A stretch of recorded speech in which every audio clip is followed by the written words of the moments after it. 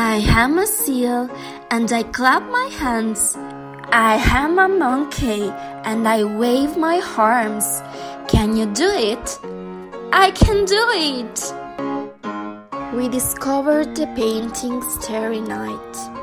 We were inspired by Van Gogh in painting the blue sky using the hands and branches collected in our garden.